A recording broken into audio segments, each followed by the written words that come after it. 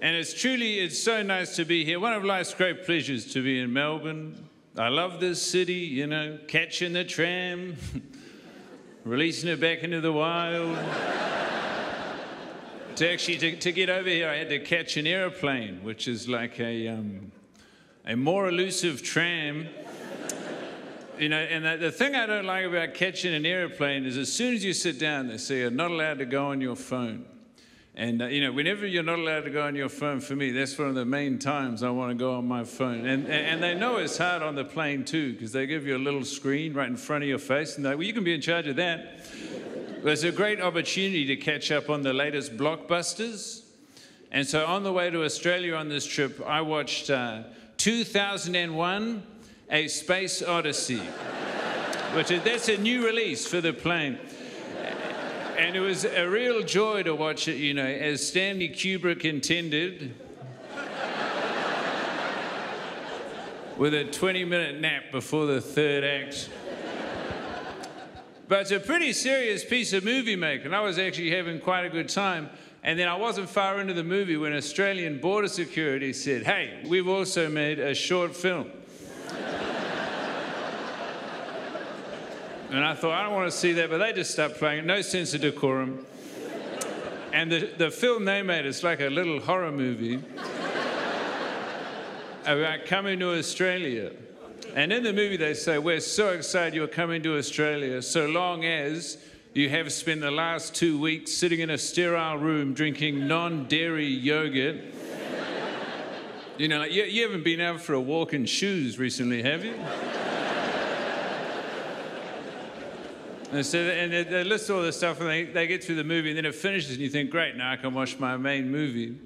But it turns out the stewards are in cahoots with border security, because then they start marching down the aisle with a bit of paper, which is like a pop quiz for the movie. And they're asking you all the questions to see if you're paying attention. But then they also ask you some trick questions that weren't even in the movie.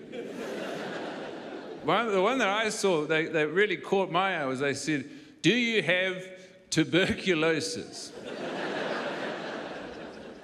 have I flown over a dateline to the 19th century? Do I have tuberculosis? You know, that's crazy. Because for me, tuberculosis is such an old disease. You know, I don't even really know what it is. So I'm sitting there on the plane trying to remember about tuberculosis, but I'm. Um, I'm having kind of a hard time because, uh, you know, I'm running a bit of a fever and I'm feeling quite fatigued.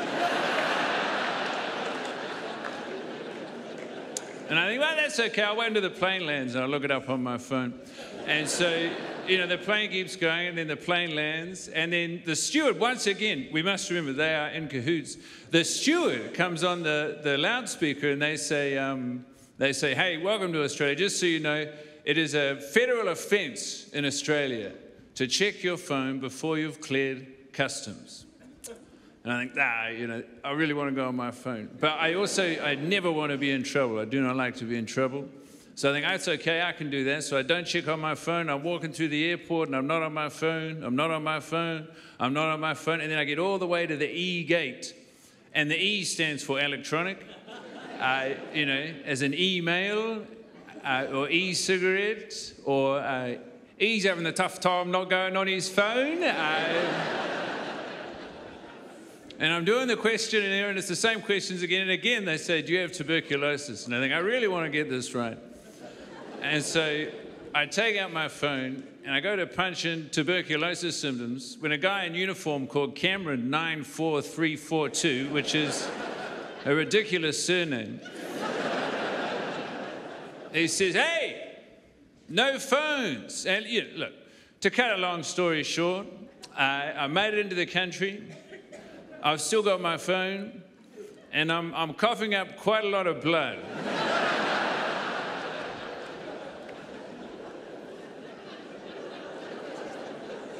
That's my first joke.